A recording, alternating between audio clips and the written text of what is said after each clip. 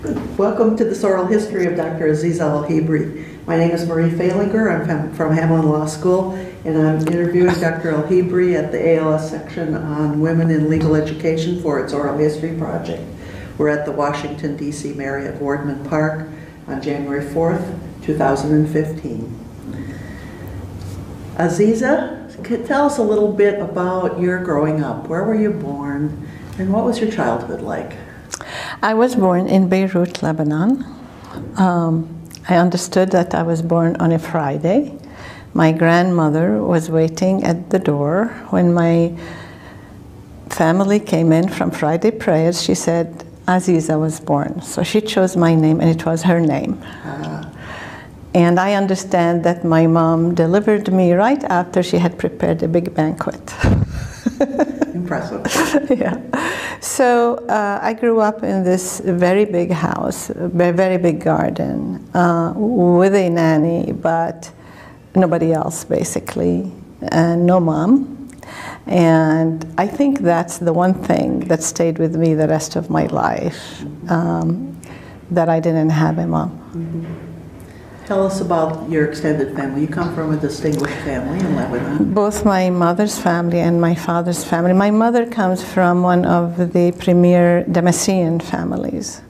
And so when she came to Lebanon, it was like she immigrated to Lebanon. Uh, the two families were related. That's why they were willing to give her to my father. My father is, uh, comes from a family which was, I understand, one of the six founding families of Beirut historically.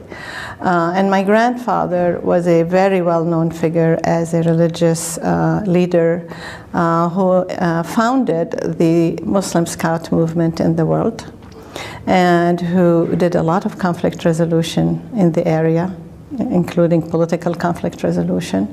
And he was very spiritual. He had a very strong Sufi aspect to him.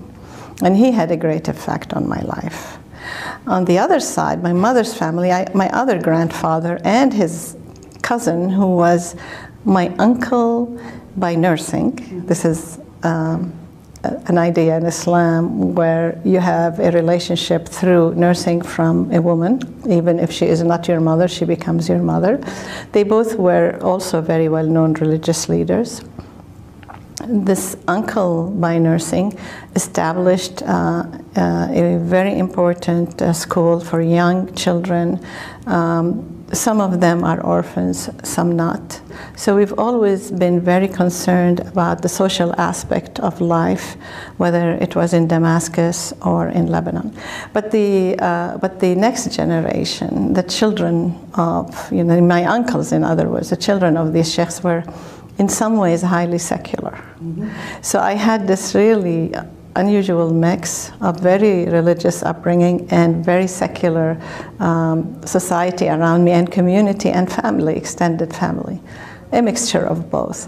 And I think that prepared me for my later life. And I must say that Lebanon is exactly, till this day, that mixture of religiosity or spirituality and secularism. We've never really seen a conflict either amongst those two. Um, attitudes or ways of looking at life, or among the different uh, religions. Uh, one of the major religions in Lebanon was, and still is, Christianity. And my grandfather, as religious as he was, his partner in business was Christian. Mm. We had a lot of Christian business friends and Christian family friends. And some of my family married Christians as well. So we are used to a real diverse community, and I grew up appreciating everybody. You lost your mother early, was that? I was about four years old. And how, you said that that affected you quite a lot. Tell me about it. Yeah, I don't know if uh, my memories are accurate, but my memory of my mother is that I came back from school. I used to go to the lycée. I started in French. so I used to come home and I was very noisy and rambunctious, and she would say, quiet, because she had just had her operation. She died of breast cancer. Oh. So one day I was very proud of myself. I got off the bus and ran home and tiptoed to her bed and I said, I'm quiet. I didn't make any noise and I held her hand. And there was no reaction. Oh, no. And I looked at her, I said, But I made no noise. And then I looked, and in the corner there were women dressed in black crying, and somebody came and took me away. And I remember that when her funeral happened, you know, a lot of people went. And my uncle brought his driver and sort of on the side, but I heard him. He said, Take her as far away from the procession as you could. I don't want her to see it. And the driver drove around, and then he just couldn't help it. And he went and he parked the car and climbed the wall where everybody was on the other side, and I could hear it and I could feel it, but I couldn't see it.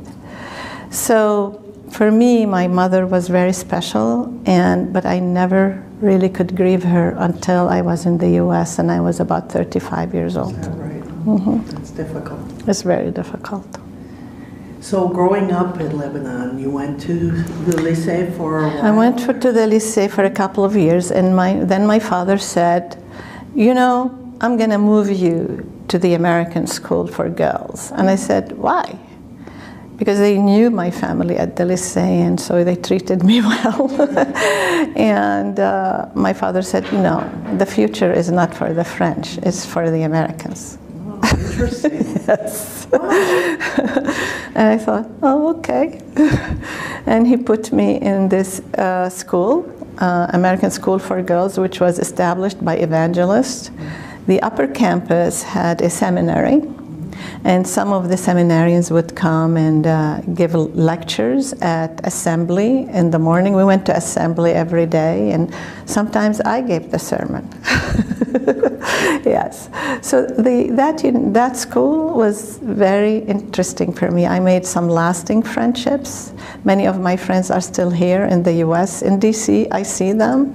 Uh, we grew up together, all kinds of uh, people, you know, uh, we were all girls, but different social strata, different religious backgrounds, different beliefs. We know how to get along together and we love each other. Now, did, were you thinking about either philosophy or law at that time? Never. When did you start to think about that? When my father asked me, you know, I, I, graduated, I did very well in high school, especially my Arabic writing was, according to my teachers, was distinguished, and they saw in it something of Gibran Khalil Gibran. Yeah. So, and I knew I could develop to where I would become a really distinguished writer. And I was already starting to write poetry, but never uh, fiction. So when I graduated and I said to my father, I want to go to university, he said, What for? I said, Because I want to be a journalist. I want to write in, you know, in Arabic. And he looked at me and he said, we have the best library in the country, which is true, uh, Arabic books. He said, You can sit here and you can read them and study and become an excellent writer. So I came back a few days later and I said, Dad, I want to be a physicist. And I knew he liked physics. And I said, Dad, we don't have a lab. he said, okay, if it's going to be physics, you can go to university. Do you think that was because you were a girl? Is that why they didn't want you to go to college? Or? I don't know. You just didn't know? I don't know. But when I said physics, that was the magic word. Okay. So I went and I really did like physics. That would have been, that was my second choice. Sure. I went and the chair of the department was a woman, Salwa Nassar, who was distinguished nuclear physicist, if I remember correctly. And once I got to university, I got distracted by being in a really diverse surrounding, uh, gender diverse. this is still in Beirut. this is still in Beirut, American University. You know, you, you, you didn't have classes all day. You had a few hours here and there to have coffee with your friends. There were boys around. My, that was a whole new world. And I was the top in my high school, and I wasn't the top in the university because I was so distracted. I did not study very much. So at one point I decided you know, this is not working for me. I want to graduate, and you've played so much, so maybe I should just just go to the arts and find find the sort of major that I would be able to move most of my credits to from chemistry and physics and so on. So I found out that if I go to philosophy, logic in particular, all my advanced math training would really, you know, set theory and all that would transfer. So I did that. And that was in my junior year. In my senior year, I graduated. So when in philosophy, did you focus on some Oh, particular? I logic. I just loved logic, and of course, it fit with my math training. And I missed physics. I miss physics till this day. I wish I done that. I was more serious about it. Uh, but I loved logic. I had an Australian professor. I wish I could remember his name, but he was wonderful and he made logic so easy to understand. So I applied for a master's at AUB. And the chairman of my department was Charles Malik. Some, of, some people would remember him as the signatory to the declaration, uh, the UN declaration um, at its founding. And he was a very famous politician, and he had also worked with my uncle. They were both ministers in the same cabinet uh, in government. So he looked at me uh, positively, kindly.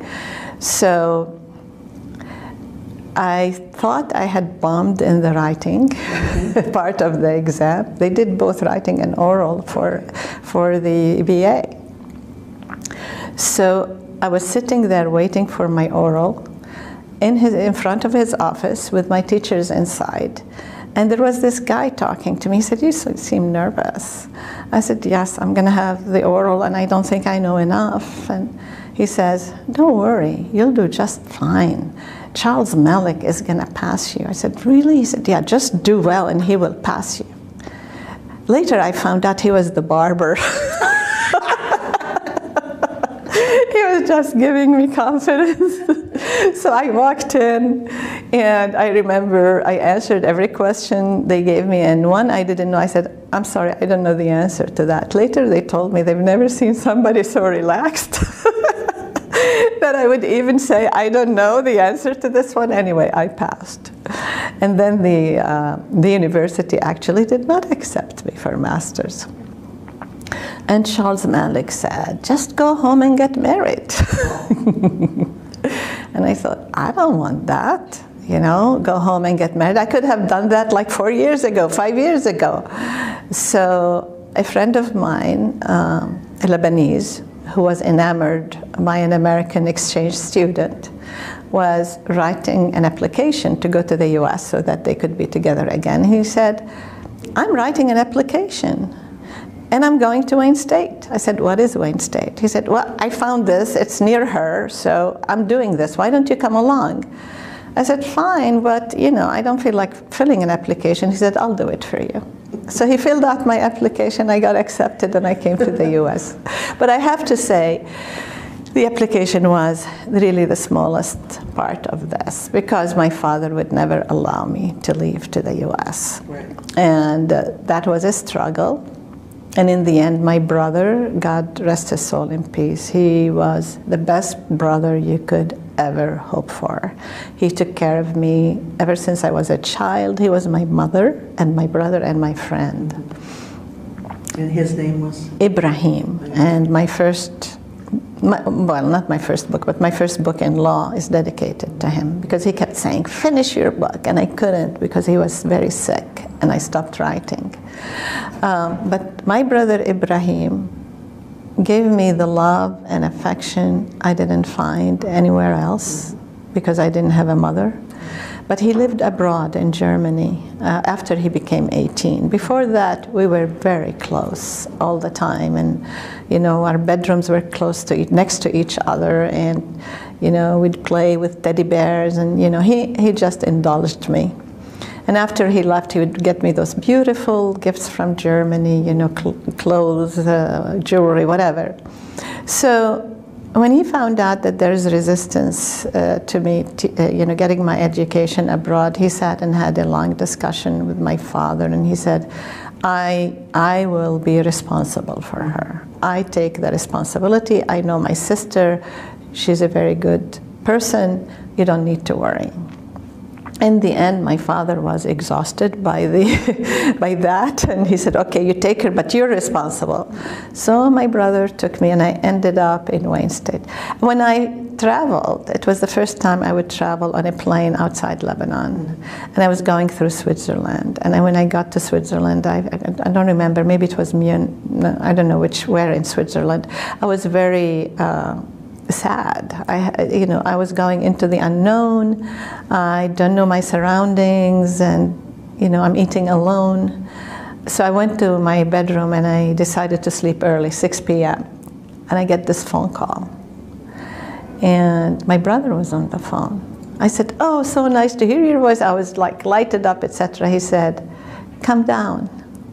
I'm here. He came to see me in Switzerland because he didn't want me to feel lonely.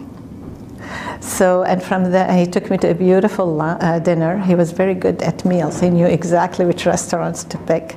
And then he put me on the plane to the US. And there began, began my trip here, my life journey. And I remember the first thing that happened when I got off the plane in Detroit uh, was that they opened the door. That it was in the summer. I arrived here in June, I think 26.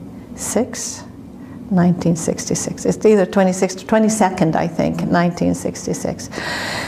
They opened the door, and hot air blew right in my face, and my eyes were watering. and I was so you know they were dry, and I was crying. I thought, what? Where am I? What is happening here? And it was so hot for several months, and then it sort of calmed down a little bit. And I had already uh, lived in the dorm. I had a wonderful uh, roommate who was very sensitive and very sweet. And one day she said, Azizah, come to the window, I want to show you something. And I go to the window and I look out, and it's all white. And she said, That's the way it'll stay for many months from now.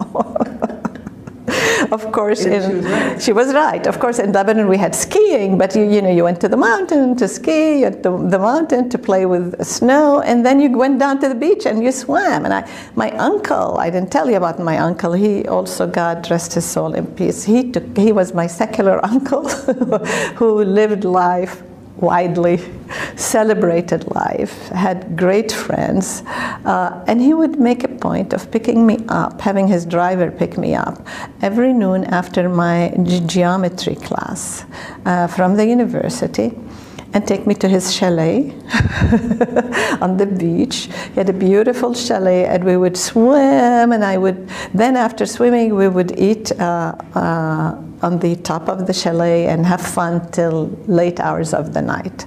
So I had all this, but I didn't have it like where you had snow for six months. Right. That was a huge uh, experience for me.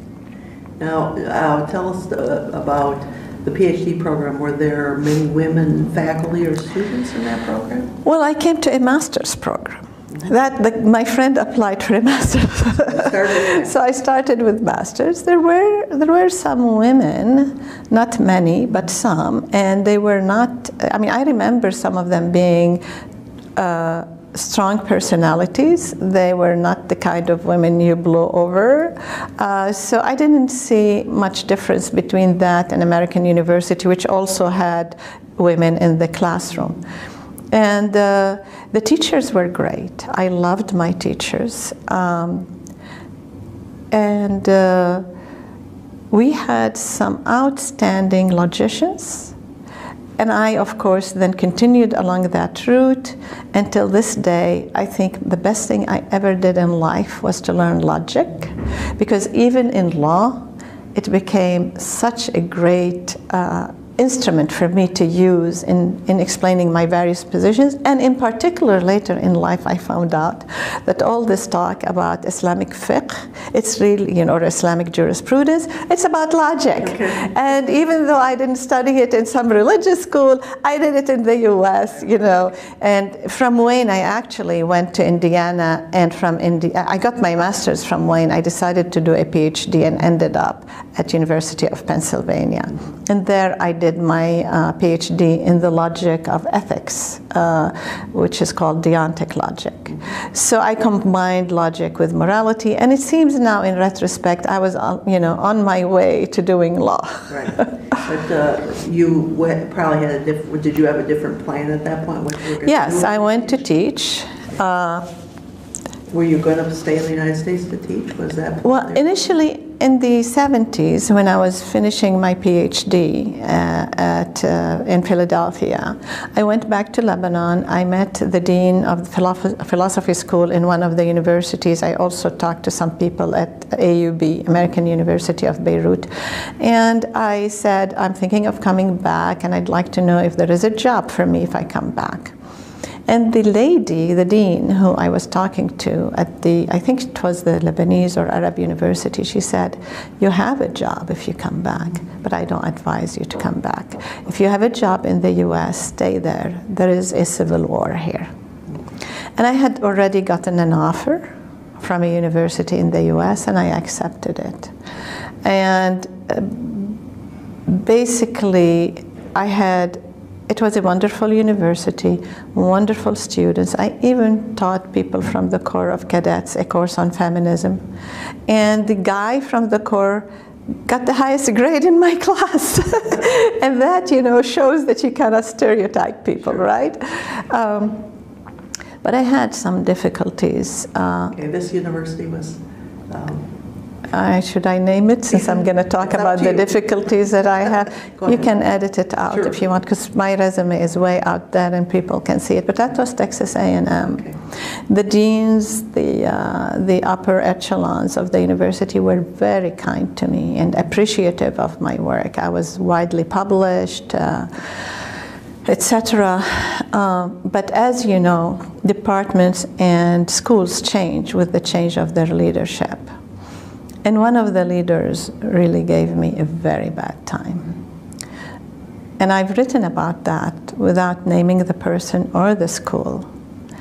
But I never, I was brought up not to talk about things that are so embarrassing or um, disrespectful. So I never told the deans about this, even though the deans, now in retrospect, now that I understand the system, they would have done something about it. So it's not the university, it's that, it's that one person. And I remember one day, I'll give you an example of how he was relating to me. One day, uh, you know, we used to write with pencil Right. and no computers. and I used to use so many pencils, and you have to constantly sharpen them. And then the secretary, there's one secretary for the whole department, she said, why don't you just buy an electric uh, pencil sharpener and stop, you know, doing it manually? Because you do 20 at a time. I said, okay, but you know, because the school, uh, the uh, department buys them. I said, I thought they were expensive. She said, no, a lot of people have them here. I said, okay, get me one. So she ordered one, and so the chair called me. He said, You ordered an electric uh, pencil sharpener. I said, Yes, I did. He said, You know, it would be so much cheaper if we if you'd continue using the manual one, and we will hire an Arab to do the job. and you would hear this regularly, this sort of, it was. That was the worst, that he will hire an Arab to sharpen my pencils because it's cheaper than, do, than buying an electric uh, one. He tried in many ways to make me fail, and he couldn't. And in the end, he came to me.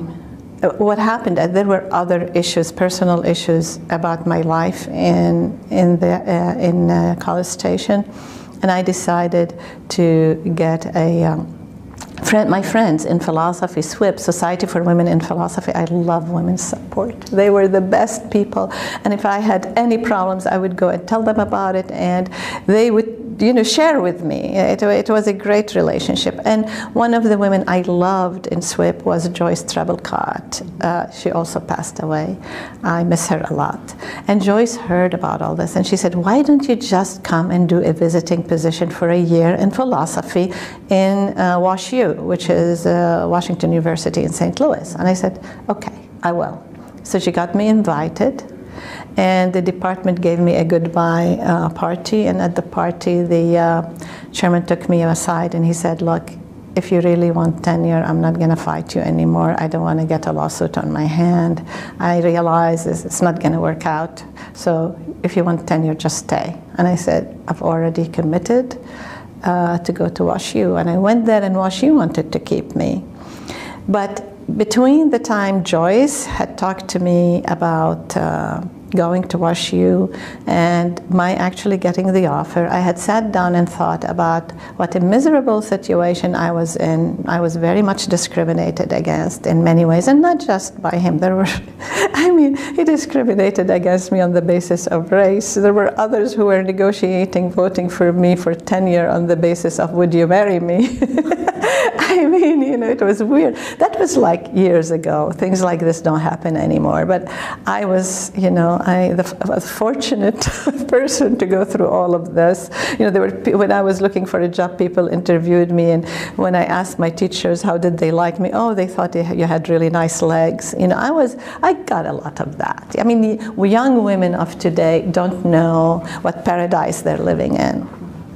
So I sat and thought to myself, you know, I don't like being victimized and I don't like playing the victim. What do I do? I've written and published so many articles on feminism. My name was very well known, but they remain theoretical articles. What am I doing on the ground? And I said, you can do something on the ground the way you're going.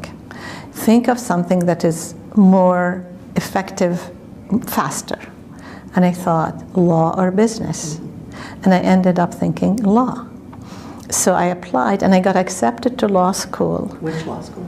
Uh, Penn. Okay. Where I had done my PhD ultimately. It was a great experience. I love Penn. They've been great. And so when I got the acceptance at Penn, I already, I also got an offer from WashU, and I said, I'm sorry, but now I have to go to law school. And I said, I don't know if that's a crazy decision or a good one. So I took a leave of absence from Texas A&M for a year. And my first year, you know how first years are, but I still thought, I want to do this. So I then resigned. I told them I'm not coming back. Mm-hmm. And then I started this other journey to law. So how was the um, composition of the class, both for women and for? There were a lot of women. There were a lot of women uh, already mm-hmm. at that time. The feminist movement has taken, uh, you know, uh, its root. And I was, I think, I went to law school in '82. So already, you know, law schools had made an effort mm-hmm. to get more women. There were women teachers as well. The one thing I noticed is that while women were being accepted more readily, diversity on the basis of race and diversity on the basis of race and gender in the faculty was not as progressive as it could be. For example, I, the, the, the, women teachers who taught me had a hard time and they had to fight for the respect of the students. Mm. And they won it, but they had to fight for it. While the teachers, male teachers who walked into the class, you know, you'd hear whispers about he's golden, he's connected to the money tree, to the, the, the and then, you know, everybody is in awe. But the woman, like, what is she doing here in a dress teaching us about torts? You know, what does she know about torts?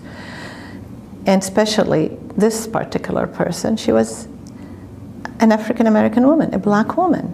She's not, in their eyes, plugged into the power structure in time, they came to love her.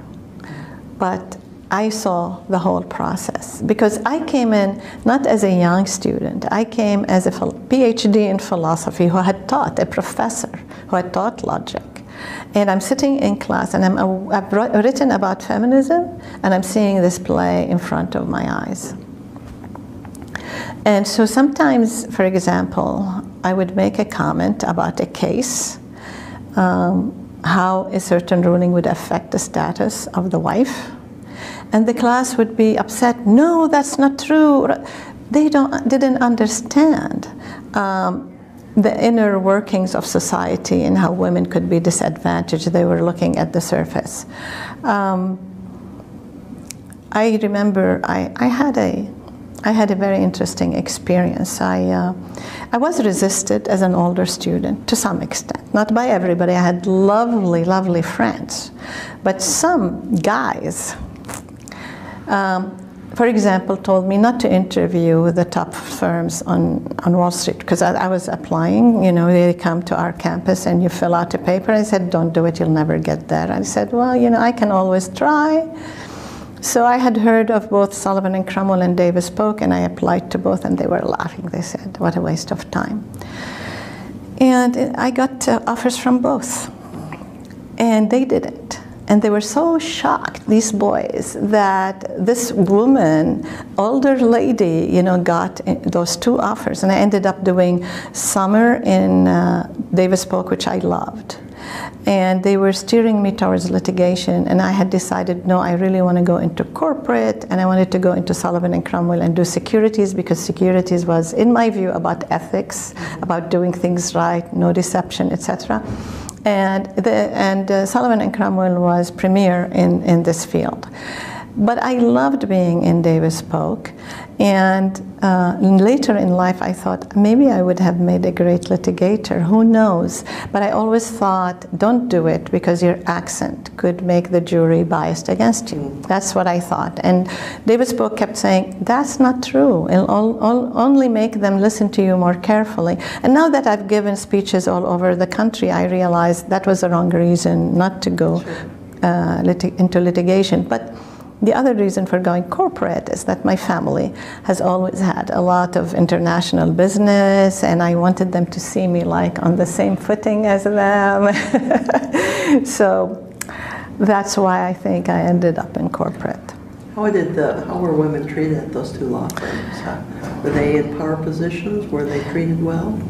What I found out in law school. Remind me, remind me to tell you something about law school and diversity. But when I went to the uh, law firm, what I found out is that the more secure and the better lawyer you are, the better person you are.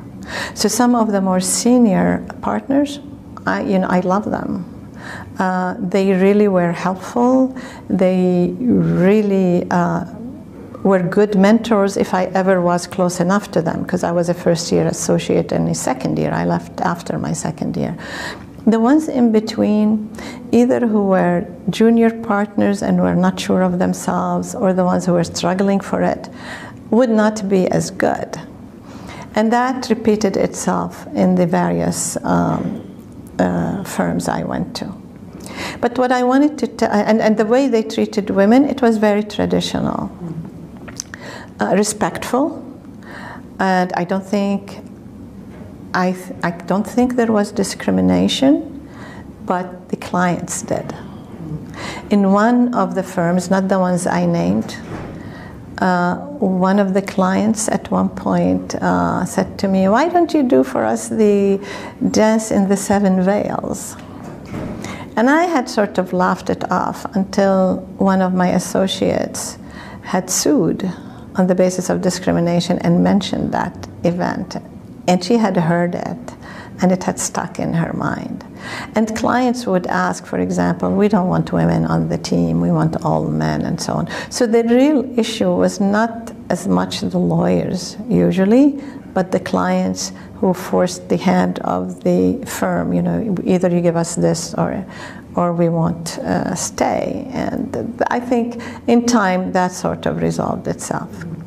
But school diversity, you wanted Yeah, I, I, remember. So after I got that gem of an offer, I also was elected despite extreme challenges, to be the editor in chief of the journal. At that time, it was the Business Journal. I forget, it had a long name Journal of International and Business Law or something. and nobody thought I would be, you know, because uh, the guys thought they would be uh, chosen, and they weren't. Um, the students who did the choosing chose me. And we had a campaign because we, our journal was not getting enough articles from the students or you know, applications to be associates and writing comments for us to choose from them. So we had a campaign and we went around um, the various classes telling them that we were very fair. We would look at every comment and we would uh, grade it very uh, fairly, and that uh, we believe in diversity. So clearly, that was an issue at that time, and we are we are you know going to be uh, a fair journal. So some of the black students believed us, and they wrote their comments. And when I became the, uh, and of course not just blacks, there were Latinos and so on. So I, when I became the editor-in-chief, I said the reviewers ought to be also diverse. So it, you know, it cannot be just uh, whites judging everybody else. And there were judges in town, in Philadelphia, who were of different backgrounds. So there was great resistance from the student board of the journal, in some of them, not all of them, about this, implying as if a black judge would grade a black paper higher than it should be. And, but the process was anonymous. Oh, yeah, but he will know. And I insisted on diversity, so we got a diverse uh, group of people. I'm telling you the story because there's a lesson here. And then we sent the papers, all anonymous, to the jury, and we got back the results. And uh, I think, I think at one point, either the papers were locked, uh, the papers were locked up to go to the jury. And I kept looking for who locked them up and where is the key. I found out finally who locked them up, a member of our board of editors. And when I called him, he said, I went home and the key is with me. And so you're not going to have these papers. So I went to the university administration, and I remember that uh, I wish I could remember his name now. I love him. Uh, he was. Uh, uh till today, he is on the uh, administrative office at Penn, and I told him the story. He called the guy. He said, "You bring the key, or you don't come back to school." And the key came, and the papers went Oh, I know. It was anonymous when they were judged, and we needed the actual papers to see you know, how the results came out. And when we looked, we found out that the black jury and the white jury did the same thing. There was no difference, you know? But it was a fight to even keep our word to the student body that we will not be. Uh, uh, unfairly discriminating against them. So that stuck in my mind. I never, I ne that I have never experienced that firsthand, and I thought that was very uncalled for. And these were student lawyers, potential lawyers, and I'm hoping that since then they've learned their lesson. Sure, sure. And I, I'm very proud that the law school backed me up completely. There was no question. So how did you get from corporate law to law teaching? So I did securities and I loved it. I loved the due diligence part because it's research. and I sort of got stuck in it because I've, I've done it so well that I remember in one closing um, where we were doing an issue of securities for a very old uh, client of the and, and well-known organization. Uh, you know, that our firm had uh, worked with for a long time, I found there was a defect in their articles of incorporation or something. and when I pointed it out, everybody's face went red and they said, nobody ever caught it all these years. It was a simple thing to fix and the issue went further, you know, it did not get stopped. But everybody was impressed many times by my due diligence, so I got stuck into that. And then I got into mergers and acquisitions and deals and so on, and I didn't like that. I didn't like the way we negotiate contracts. My reason for that, and they told me that I drew up very bad agreements is that I tried to draw agreements that were fair and equitable. and they said, that's not your job. You're a lawyer of this party. Let the other lawyer fight for their party. But I never really accepted that theory. I thought we all should be looking out for each other. So I figured out in the end. So at one point I thought maybe I should move somewhere else and maybe I would, should try another experience on Wall Street before I decide I don't like doing corporate law. So I ended up with Debevoise and Plimpton. And by the way, Debevoise, till this day, I'm in touch with them. They are doing pro bono work for Karama, which we will be talking about. Yeah, it's very nice. Um, and there I, it, you know, corporate law is corporate law. And, you know, I was, I should tell you that when I graduated from law school, I had just married my husband, Ahmed. And when I ended up on Wall Street, um, it would be three days before he would see me, and I would come at 7 a.m., uh, take a bath, and say, make sure the breakfast is ready, I'd eat and run, run out back to, to work. So it was very tough. Um, but something you might not have known is that I didn't go directly from law school to Wall Street. I went to Harvard Divinity School in I between. Didn't, I didn't. I read it on your resume. Yeah. I think I was right. Only for one semester because I didn't want to I was given a fellowship for a year, and I said I'll only do one semester and then go because I was insecure about my offer at, at um, Sullivan and Cromwell. So I went there. I was at the uh, what is it? The uh, Center for World Religions, mm-hmm. which had the most wonderful people in charge of it. Um, again, their names do not come to me right away. Um, husband and wife, Ineke and, uh, and John Carman, I think that was the name. Um, very kind, very loving. Uh, Ahmed and I just loved them. Ahmed was visiting me. He would go and he, he went to University of Chicago and he'd fly over to see me. Um, we were um, engaged. Yeah, no, we were married. We were married at that time.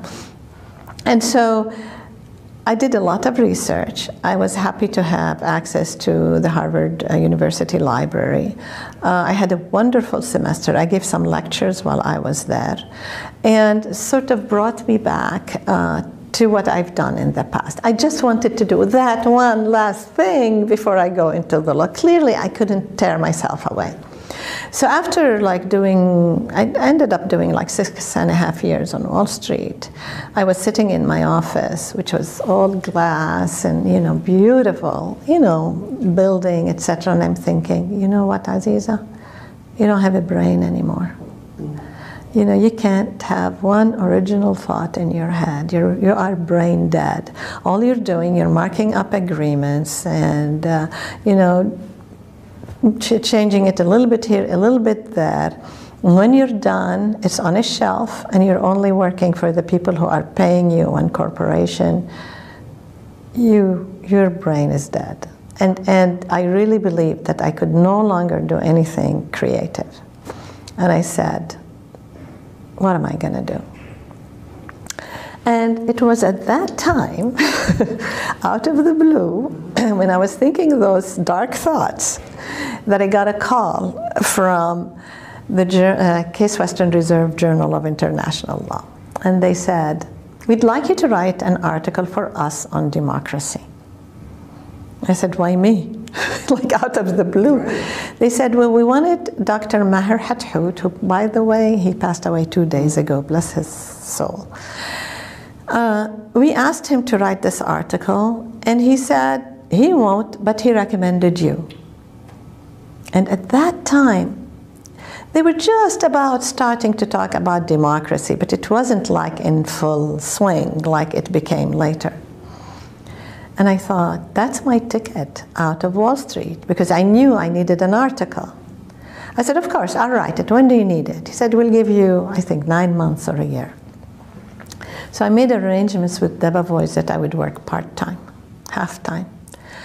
And the other half time, I was at Columbia University Library. And I searched and searched and searched, and like three, four months passed. I couldn't find a single Islamic document on democracy. And I was panicking. so there was this um, a very nice and kind uh, Muslim leader and scholar. His name was Dr. Mahmoud Abu Saud, who also passed away. I have no idea how I came to know him, but we became friends. We, I would call him and ask him, you know, how he is and so on. So one day I thought, why don't I ask him about this? And I said, Dr. Abu Saud, I, I'm, I'm just done. You know, I've done everything I could. And I cannot find anything in the library about democracy and Islam, and I have to have the article in like six months. And he laughed, and he said, Are you looking under democracy? I said, Yes. He said, Well, that's not what they called it. So go look under these. And he gave me the topics. And I went, and it was just a festival of information. and I was so happy. And I, Islamic topics? Yeah, yeah, yeah. So it came under uh, state governance. Okay, sure. You know, they didn't call it democracy, they called it consultation, they called it bay'ah or voting. They called it a lot of other things. Democracy is not the word they used. So after it was done, I was so proud of it. And I sent it in. And I get a letter. I think it was a letter. If it's a letter, I would still have it. It might have been a phone call from the editor who was going to look at my paper. He said, We just don't think this is true. you know, I mean, Islam is not that democratic, and you make it look like it is.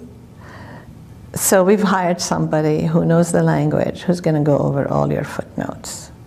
And I guess she's a Middle East librarian. And, you know, we'll, I will get back to you. You remember, it was an invited paper. Not the first time when I give an invited paper, and because they do not like the content, I get censored. So, anyway, I didn't get censored here. Uh, they did bring this person and uh, she verified everything, but corrected all my uh, spelling of the words. Mm-hmm. So they sent it back to me, and I looked at it. And they said, so I guess, they said, we guess it's right. So, okay, and here it is. And I looked at it and I said, you know, whoever reviewed my paper used Orientalist transliteration, and I will not accept it. So please reverse it and make it as it used to be. And they did. Yeah. They were very nice. After the first, you know, like what on earth is going on? Because you remember, these are young people who've heard such horrible things about Islam, and here I come and say, no, it's not that bad. You know, they really have to do their due diligence. I don't blame them, but that was the climate I published my first article in. And I think, well, you can look at my uh, article to see what year, but I think it was 91. Mm-hmm.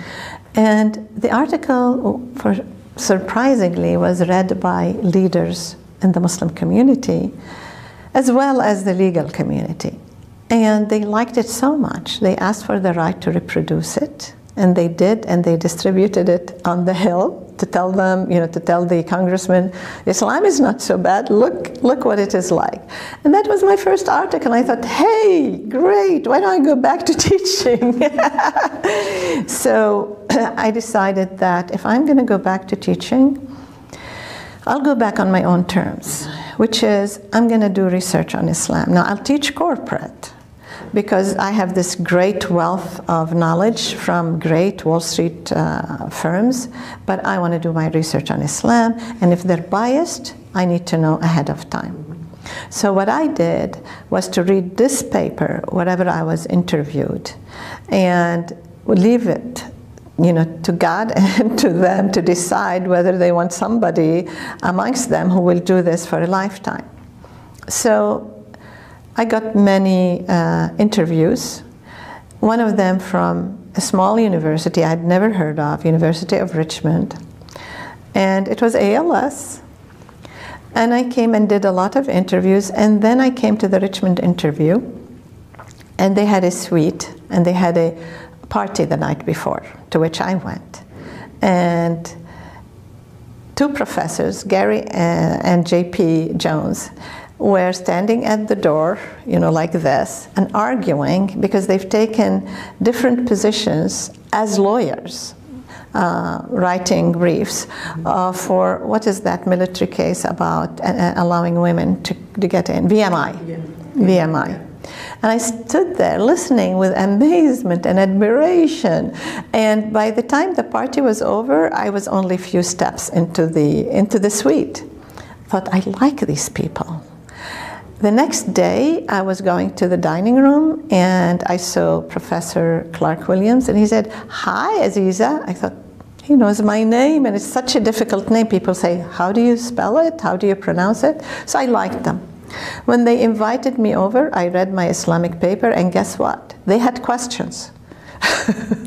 they even argued about the analysis, and you know, nothing bad. They really argued like lawyers should. And then they made me the offer, and I thought, you know, if they like what I do, then that's where I should go because I like them. Mm-hmm. And I ended up at the University of Richmond. So, um, how has that been for you as a Lebanese woman, as a woman lawyer at the University of Richmond? Um, on the whole, it was lovely, but I must say that things changed with the change of the dean. Mm-hmm. So there were ups and downs. Mm-hmm. My last semester teaching securities, I was not happy with, and the reason, and th- there I could understand if the students were not as happy as mm-hmm. usual, because I was placed on the commission by President Obama, the Commission for International Religious Freedom, and when I asked about how much time it would take, they said one meeting a month. And on that basis, I accepted it, and it turned out to be every day. Mm-hmm. And in, at times, I took my iPad to bed because I would get emails at 3 a.m. I had to look at, and I had to drive then to Richmond in the morning to teach. That was a disaster. Um, but other than that, the students insecurities were very fine. The student in Islamic law also looked at me as a great resource. Things changed after 9 11. And I started getting much less students in my uh, seminar on Islam. And when I asked my, one of my students why, she told me that her two friends were going to come and take the class, but they were told it would be unpatriotic to do so. So that became the struggle that I was fighting with afterwards. And, um, you know, our struggle doesn't ever end, whether as women, whether as Arabs, whether as Muslims, whether as, you know, I'm sure every one of us, including yourself, has something that would make somebody discriminate. Uh, but I think on the whole, my experience at the university was really very good. It's an excellent university, and I got a lot of support from the faculty and from the administration, and mostly from the deans, most of the time. Looking back on your career, what do you think were your greatest accomplishments, either in the classroom or outside of the classroom? To be honest with you, I think my greatest um, accomplishment is the fact that I have developed a line of research on Islamic studies or Islamic law that nobody has done before. And I believe I was the first to teach Islamic law in a law school. And after that, it, uh, it became more prevalent. Uh, um, but what I'm writing is not what others are writing.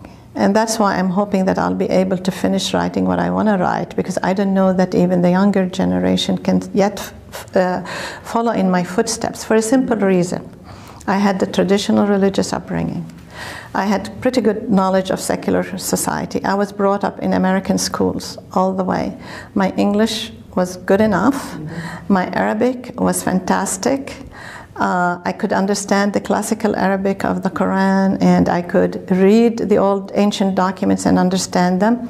And guess what? Then I had logic, a PhD in logic, where could I apply all of that and my legal training all these things came together to give me uh, uh, credibility in controversial material I write that others don't have. So somebody who doesn't like what I write may say, I think she's wrong. But I think, hopefully, that's as far as they will go. And there are people who They respect the they respect the and, and I just came from Morocco where I gave a lecture on a panel about uh, something about Islamic law from my book. I remember talking, for example, about the creation of Eve in the Quran because it was an interfaith uh, a panel, and I was trying to distinguish uh, the story of creation from Judaism and Christianity. But in doing so, I had to criticize a very, very major scholar whom I love. But he just erred on a very important point. And who was leading um, the panel? the head of the Rabit al Muhammadiyya, which is a highly respectable Islamic uh, scholarly institution, um, probably the highest or one of the highest in Morocco. So I was nervous how they, he is going to react to that. And so part of what I did was a PowerPoint where I actually took a picture of the page where the language appeared so that they will see it.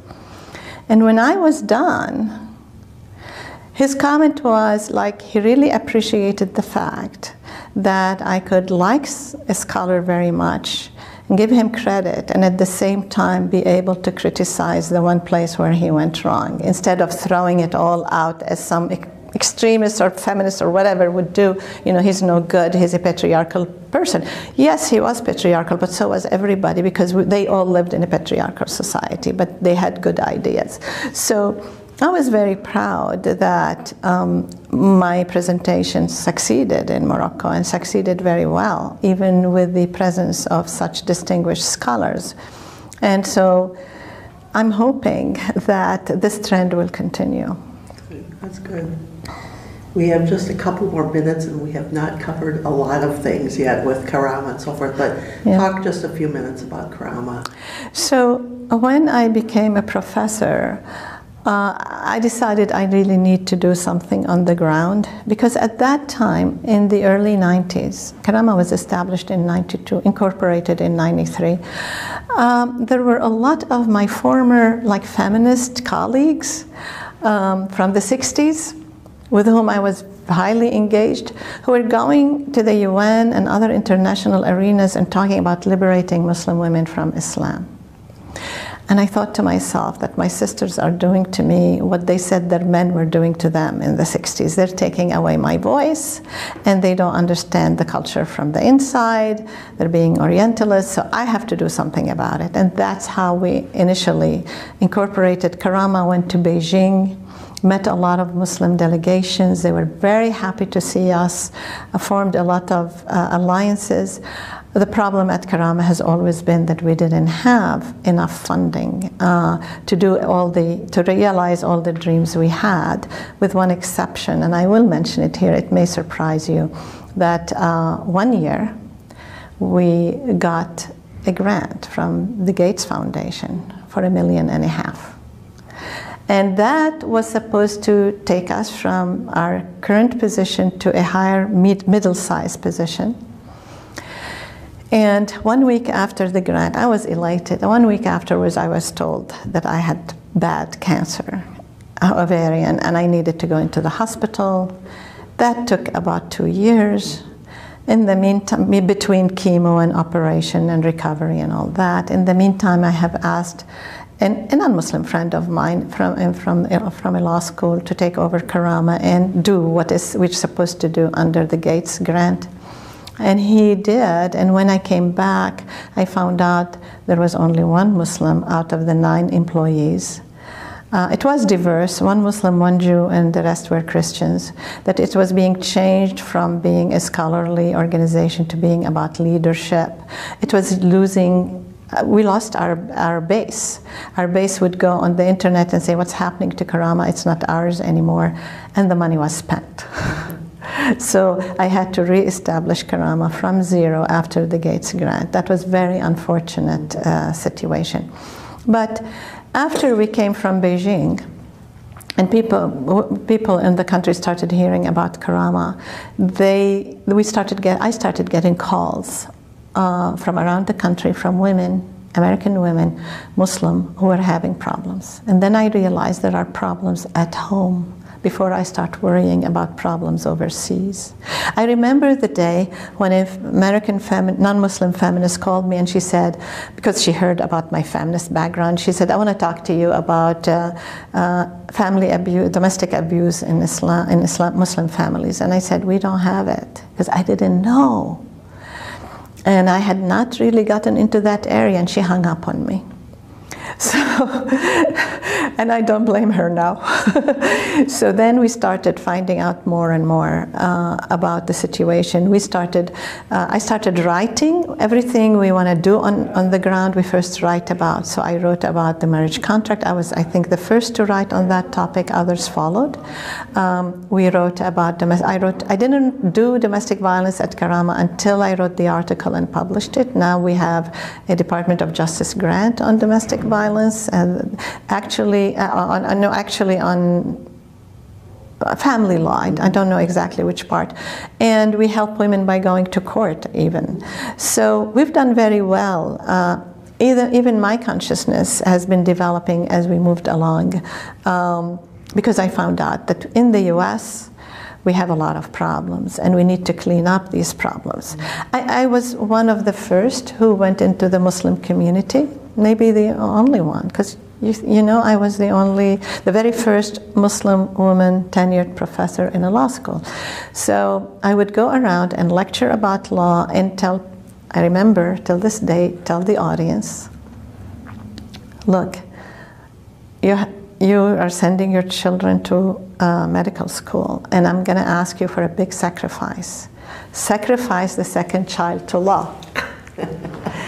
and it, there was a lot of resistance. And some imams would say, no, this is secular law. It's against our religion to send our children into law school. A woman, young woman called me crying because her dad was going to send her until the imam dissuaded him. But I kept talking. And they started seeing what's going on. And now look, we have such a great uh, number of Muslim uh, lawyers and law students. Karama itself gave birth to what is known in the Muslim community as NAML, N-A-M-L, National Association of Muslim Lawyers. Uh, NAML is mostly a listserv, but NAML gave um, birth also to two organizations, the National Association of Muslim Law Students and also Muslim Advocates, whom they supported financially and, until they could stand on their two feet. So Karama is a grandmother.